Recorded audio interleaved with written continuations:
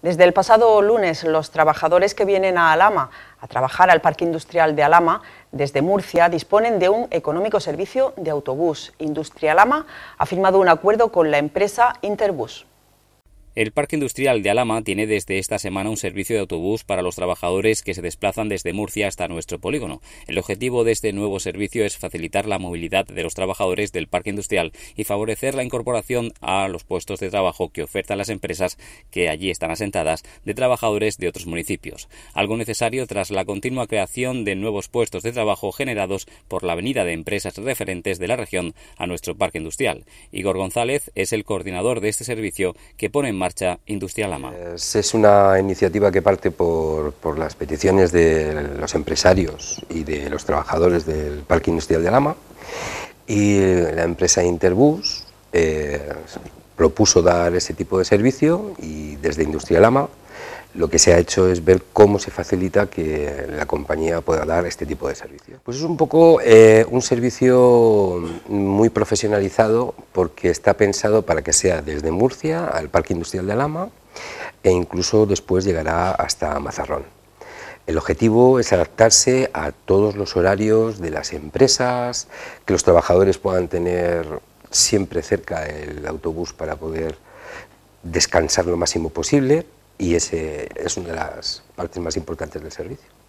Va a partir desde los 3 euros el billete convencional, 2 euros y medio ida y vuelta y habrá bonos que se irán adaptando a las necesidades de los trabajadores. Aún así, Industria Lama y parte de las empresas con las que estamos contratando en, en Industria Lama estamos llegando a acuerdos para ver de qué manera podemos facilitar, potenciar y ayudar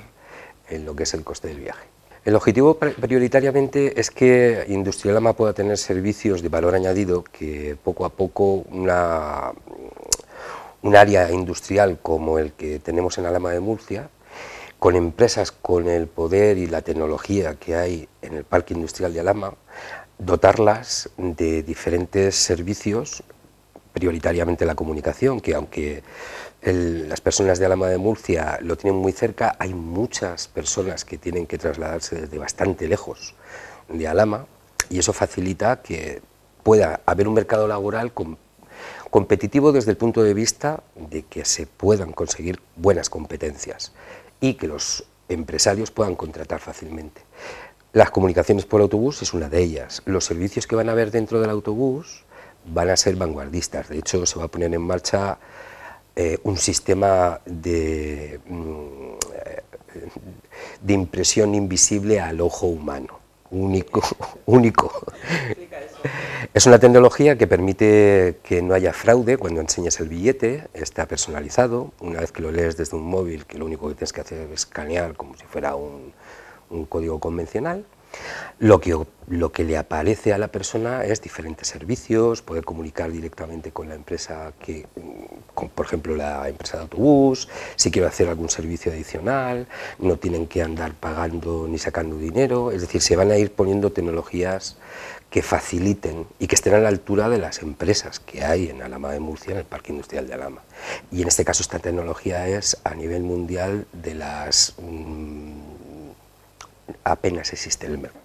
Pues se ha puesto esta semana y hemos empezado con unas rutas que llegan a las 8 de la mañana, un poquito antes, después también a las 2, después también para recoger a las personas que han entrado en ese turno y poco a poco estamos adaptando los horarios para que realmente pues desde, desde incluso el condado de Alama puedan acercarse al Parque Industrial de Alama. El objetivo es ambicioso, es que realmente podamos tener una muy buena comunicación. Después también lo incorporaremos a lo que es el pueblo, que en este sentido todavía no tiene una conexión, pero vamos, hay interés por parte de todas las administraciones de poder concatenar todo este tipo de, horarios, de servicios. Lo que ocurre que hemos empezado en esta semana y ahora todavía estamos viendo ver cuál es la mejor opción, pero siempre será la que se necesite.